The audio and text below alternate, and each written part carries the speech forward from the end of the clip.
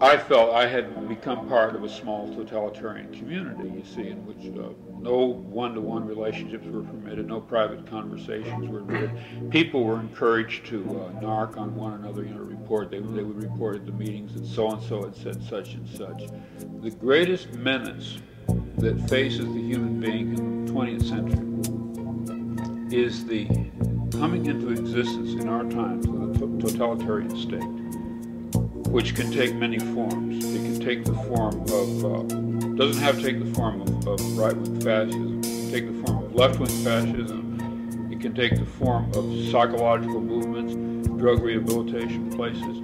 It can be powerful people, it, manipulatory people, manipulative people. Um, it can be in a relationship where you're in a relationship with someone who is more powerful than you psychologically. I speak for all the people who get victimized because they are essentially weak do not have tactics of direct defense and, and who are who are really ripped off psychologically. But I'm equipping people to survive who are not in charge of the situation. I mean, they're people who are essentially victims of the situation and, and victims through, through weakness, uh, not victims through the malice of other people.